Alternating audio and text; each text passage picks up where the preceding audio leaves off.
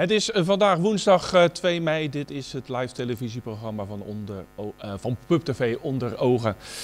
Wat ik al zei, woensdag 2 mei, de dag van de tonijn. Nu zou je zeggen, nou lekker in de salade. Maar het is natuurlijk wel de bedoeling dat dit soort eh, vissen duurzaam gevangen worden. Eh, duurzaamheid eh, komt straks ook weer terug in onze eh, programma's. Want we hebben straks eh, René Karens en Marcel Brechtman. Die gaan vertellen over de coalitieonderhandelingen en duurzaamheid. Is daar even het onderliggende thema in. Ehm, wat hebben we nog meer als eh, gast? We hebben Koos Schijbelen over de 4 mei-herdenking. We hebben Lidwien Meijer over de Ludwina-processie. En we beginnen met uh, Ilja van Haren van de Klussendienst van de Kansenfabriek. Eh, Ilja, welkom. Eh, de Kansenfabriek, wat is dat? De kansfabriek, wat is dat? Ja, dat is een eh, grote open vraag. De kansfabriek is ehm, een plek waar verschillende eh, instanties en ideeën samenkomen. Waaronder de recyclewinkel, de kledingbank, oh, de kledingbank, ehm, de klussendienst, waar ik natuurlijk van ben, dus ik coördineer het. En ehm, de, het trefpunt. Ja. Eh, de, de, de, de Klussendienst, is dat een, eh, een, een specifieke afdeling van die Kansenfabriek? Ja, dat is, nou goed, het is een project op zichzelf. Ja. Ieder is eigenlijk zelfstandig. Ja. Alleen eh, het is gewoon een plek waar we allemaal samenkomen en waardoor we ook gewoon met z'n allen kunnen samenwerken. Daar is het eigenlijk eh, uit ontstaan. Dan worden er ook de, de lijnen ook korter. Eh, nou, de klussendienst is al een jaar. Dus, dat is begonnen met een pilot van de Woonplus. Maar die mogen natuurlijk niet meer de sociale ondernemingen ondersteunen. Mhm. Dus we zijn overgegaan naar, naar de gemeente. En de klussendienst is eigenlijk puur eh, om mensen met een, arbeid, een grotere afstand tot de arbeidsmarkt te begeleiden naar, nou, naar een kortere afstand tot de arbeidsmarkt. Oké. En hoe moet ik die Klussendienst eh, voor me zien? Wat, wat, wat, eh, wat doen ze allemaal? Nou, wij doen voornamelijk speeltoestellen op leuken in de wijk, want opknappen eh, qua veiligheid mogen we dat niet doen. Dus het eigenlijk nu doen ze voor elkaar. Dus ze komen ook in hun eigen wijk en ze hebben zelf ook kinderen. En dan kunnen ze natuurlijk die speeltoestellen een likje verf geven. Het is ook uitnodigender. We doen ook klussendienst aan huis. Dus, en om huis. Dus een onkruidwieden voor een eh, meneer die het zelf niet kan. Of een mevrouw die wat ouder is, die kan niet meer door de knietjes. Nou, dan kunnen wij gewoon eh, ja, een, een tuintje opknappen. Ja. En kleine klusjes. En eh, wijkprojecten vooral. Dus de Kansfabriek zelf hebben echt een hele lik verf gegeven. En ehm, het Wiebouwplein, ehm, noem maar het Speeleiland bijvoorbeeld, Ja. opknappen. Dus we doen eigenlijk echt voor de wijk. En zo eh, zijn er deelnemers, onder, eh, oftewel de klussenmedewerkers zijn bezig. En dat is natuurlijk voor hun het belangrijkste, om uit huis te zijn Ja. en eh, zichzelf weer, ehm, ja, de maatschappij Ja, dus In- krijgen we weer een beetje ritme om, Ja, eh, en een reden weer om op te staan. Wat, wat is de ervaring van, de, van eh, de, de dames en heren die meedoen aan die klussendienst? Hoe vinden ze het? Ja, ja, ze vinden het leuk. En vooral voor hun is het heel erg eh, eh, een pluspunt dat ze uit huis zijn en wat Mhm. te doen hebben. Ze leren andere mensen kennen en ehm, ja, dat is nog wel het belangrijkst. En ze krijgen natuurlijk een werkritme. En het is ook gewoon je eigen kwaliteiten ontdekken. Ja. Dus stel, er komt iemand binnen en die weet gewoon totaal niet waar hun kwaliteit of hun passie Mhm. ligt of iets. Dan zeg ik, nou goed, je kan bij ons schilderen, je kan in de tuin werken, je kan schuren, nog, je kan verhuizen, noem maar wat. En eh, bijvoorbeeld komt iemand binnen en die is een tijdje aan het schilderen en die zegt, joh, ik wil eigenlijk wel een schilderstraject in, want ik vind schilderen leuk. Ja, ja. bijvoorbeeld. Ja. Dus, ehm, Dus jullie hebben ook eh, zeg maar veel eh, contacten met, nou, hè, dus zegt dat er iemand zegt van ik wil graag eh, gaan, verder gaan met, met, met, met schilderen. ja. Dat jullie ook de, de juiste weg kunnen aangeven eh, hoe, die dat moet, eh, hoe die dat moet doen. Ja, dat is ook het mooie aan de kansfabriek. En we werken natuurlijk ook samen met Stroomopwaarts. En Stroomopwaarts heeft ook heel veel trajecten. En eh, nou ja, goed, ze beginnen bij klantgroep 4, om het even zo te zeggen. En die kunnen dan doorstromen naar klantgroep 2. En zo stapje voor stapje komen ze richting de arbeidsmarkt. Oké. eigenlijk. Zijn er al positieve verhalen te vertellen over mensen die geslaagd zijn Ja. om eh, aan werk te komen? Ja, nou goed, het ligt altijd aan de persoon zelf. Maar Ja? natuurlijk zitten er altijd gouden randjes bij. Eentje die is wel eh, uitgeschreven naar taxi. Eentje, daar ben ik hard eh, voor bezig om zich eh, naar de elektriciteitsopleiding te doen. Of eh, te laten financieren door een bedrijf of zo. Dus je komt ook wel andere bedrijven tegen. Ja, En dat ja. is eh, ook heel erg leuk. En wat is jouw motivatie om het te doen?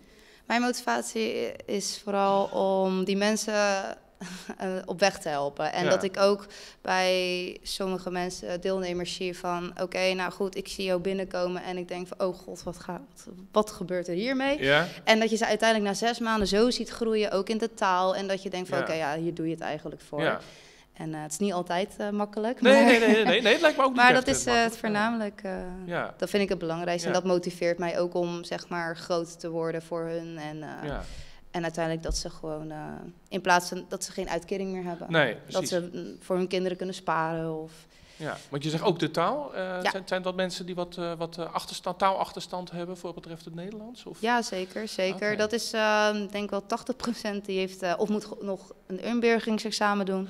Daarom zit ook natuurlijk, noemde ik net ook, het trefpunt. Ja? En het trefpunt is, ja, die moet een methodiek behouden om nieuwkomers in Nederland, zeg maar, eh, zelfredzaam, zo mogelijk zelfredzaam Ja. te maken in de maatschappij. Of, oftewel in Schiedam. Ja, En die, eh, melden, die worden dan ook bij ons aangemeld. En dat zijn mensen die zijn misschien een jaar in Nederland, of die zijn twee jaar in Nederland, of ehm, hebben veel problemen thuis, of kunnen nog niet wennen aan hun thuissituatie Mhm. in Schiedam. Dat is natuurlijk een hele verandering. Ja. En eh, nou ja, dat, hier bouwen ze gewoon wat op. Ja. Leren ze andere mensen kennen, samenwerken, niet thuis zitten. ja. Dus dat is ook wel... eh, En, dus jullie zitten er al, al vroeg eh, bovenop om ze zo snel mogelijk eh, te laten integreren en tot, tot nut te zijn. is misschien ook een beetje een raar woord voor de maatschappij, Ja, maar dat ze gewoon ook een, een volwaardig bijdrage kunnen leveren. Ja, zeker, zeker. Het is natuurlijk al, nou, dit bijvoorbeeld trefpunt is al jaren hiermee bezig natuurlijk, want sinds twee jaar, het is een, ze moesten uit J, JB12 moesten ze weg omdat hun opdracht voltooid was en Ja. er waren een nieuwe stroom vluchtelingen waren minder, eh, zeg maar. Dus eh, ja. Jullie zitten hoofdzakelijk in, eh, in Nieuwland eh, Ja. daarmee? Ja. Daar halen jullie ook, eh, eh, da- daar, le- daar leggen jullie ook de projecten neer? Of ik woon in Noord, eh, kan ik eh, jullie bellen en zeggen van kom mijn, eh, mijn tuin eens even schoffelen? Nee, we doen wel echt Nieuwland, Nieuwlanders voor elkaar. Ja, Toevallig kreeg ik ook, komen jullie ook in Groenoord? Nou goed, wij doen alles op de fiets of we hebben een auto. Nou, dan moet je weer benzinekosten rekenen. Dus houden we het echt op Nieuwland. Mochten Ja. we echt heel erg uitgroeien, want, en de vraag is zo groot, daar kunnen we altijd over nadenken. ja. Eh, concurrentie met commerciële bedrijven ligt natuurlijk altijd op de loer. Ja. Dat is altijd wel echt zo- zo'n puntje, dat Mhm. er natuurlijk graag gewezen wordt. Hoe, hoe gaan jullie daarmee eh, mee om? Nou goed, wat je zegt zelf van, joh, ik woon in Noord en eh, wil jij mijn tuintje even opknappen? ja. Nou ja, goed, je bent gezond. Je kunt, eh, het denk ik zelf ook wel, je Ja. eh, misschien een fam- ja, je familie. Dus dan zeggen we gewoon nee. Nee. Ja, het is eigenlijk meer voor mensen met een financiële of lichamelijke beperking. Oké. Dus Ja, echt die of in, echt in de bijstand zitten of grote schulden hebben of die hebben geen familie meer. Dus dat zijn ja, dat is onze Oké. grootste hulpvraag. Want ja, Ja. een lampje ophangen voor 70 euro, dat, dat gaan we natuurlijk Nee. niet vragen. Nee, Dus nee. dat is heel laagdrempelig. Ja, dus jullie kijken ook waar, de, waar die, eh, Ja. die mensen van de, of die, eh, die van de, van de kansenfabriek en van de klussendiensten, waar ze terechtkomen en wie, Ja. wie het zijn. ja, ja. ja. Ehm, hoe laagdrempelig is het eh, voor wat betreft de vraag? Ik bedoel, eh, komen mensen graag naar jullie toe en zeggen van eh, ik wil graag dat me een lampje opgehangen wordt? Nou, ja, we werken samen met de WOT, wijkondersteuningsteam. Ah. En die, die doet met, eh, meestal de huisbezoeken en die komen met de hulp, echt met de meeste hulpvragen. Ja? Want ja, zelf mensen die weten ook niet waar ze moeten zoeken. Nee, precies. Dus bij deze, mocht je hulp nodig hebben, je kan altijd binnenkomen lopen bij de Kansfabriek.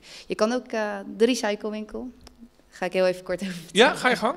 Nou, dan kan je gescheiden afval inleveren. Ja. Echt gescheiden, dus ehm, eh, papier, karton, metaal, groente, fruit, tuinafval, kleine elektrische apparaten, bijvoorbeeld je koffiezetapparaat.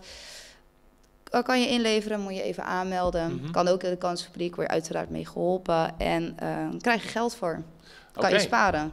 Ja, en ook voor een eh, maatschappelijk spaardoel kan je ook aanmaken. Dus bijvoorbeeld voor je voetbalvereniging of voor je school of voor iemand die bijvoorbeeld ziek is en die je dan wil helpen. Ja, Of sparen voor een, eh, ja, ik weet niet, voor je kleinkinderen. ja. Ik weet het niet, maar dat kan... eh, Oké. En beheer je dan zelf het geld of niet? Dat wordt door Nee, dat is gedaan. echt eh, afvalloon, zeg maar. Oh. Het is een project van Irado Ja. en het, eh, eigenlijk meer het idee van afvalloon. Oké. En afvalloon dat beheert het systeem. Ja. Ah, Ja. Dus alles wat eigenlijk niet verbrand wordt, wordt eigenlijk, eh, krijgen die mensen geld voor. Oké.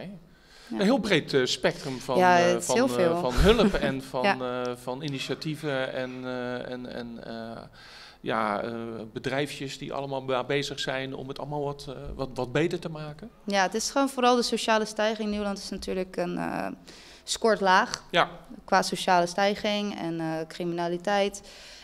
Nou goed, niet dat we per se wat aan criminaliteit kunnen doen, Nee, maar nee, het is, nee. ehm, ja, het moet een heel uitnodigend, ook duurzaam en eh, ja, vooral die sociale stijging Ja. omhoog te frikken. Dus mensen die een nieuwe start willen maken of die weten niet waar ze moeten zoeken, loop gewoon binnen en je wordt geholpen. ja. Computerlessen, taallessen. Je, je krijgt koffie van Ja, ook INDB nog. Maatwerk. Ja, Ja. dat is een dagbesteding. Ja. Dus mensen met een verstandelijke beperking of lichamelijke beperking. Die hebben ook een eigen koffiecorner daar. Dus ja, het zijn zoveel... eh, ja. Dat lijkt me een, eh, een drukte van je welste eigenlijk. ja, eh, nou, het is nog rustig, dag. dus loop maar binnen hoor. Oh, loop maar binnen. ja. Ja. precies. Ja. ja. Nou, eh, hartstikke leuk. Dus als mensen zich aan willen melden en zeggen van nou, hè, mijn lampje wil ik op laten hangen, ik, ik kan het allemaal niet zelf, Mhm. kunnen ze bij jullie Ja. terecht? Ja. Loop maar gewoon binnen. Ja, Waar moeten ze binnenlopen? de Meesterstraat 40A. Oké, dus dat Ja. is niet bij het, eh, bij het WOT, dat is weer een andere Nou, het is twee minuten lopen van het WOT. Twee minuten lopen ja, van het ja, WOT. ja, ja, het is niet ver. Het is eh, ja, de Meesterstraat De 40A. Meesterstraat. Die vindt Weten alle Nieuwlanders weten wel waar dat Ja, is. dat denk ik ook wel, Ah. ja. ja. Dankjewel. Alsjeblieft. Eh, succes met alles. Dank je. Oké.